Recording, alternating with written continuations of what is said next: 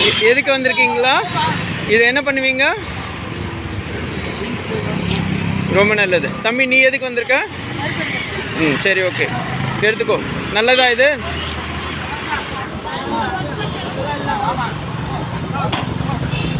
அம்மா ஓப்பன் பண்ணுங்கள் ஃபுல்லாகவே ஓப்பன் பண்ணுங்கள்